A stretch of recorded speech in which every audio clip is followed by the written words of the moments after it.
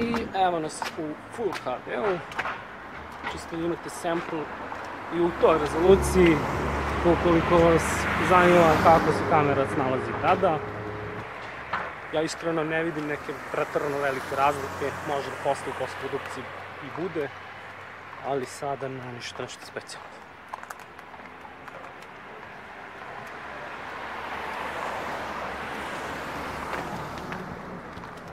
Ono što primećujem jeste da se ekspozicija razlikuje, ovaj, prednja i zadnja kamera ne, ne uspeva da da mečuje ekspoziciju kako treba.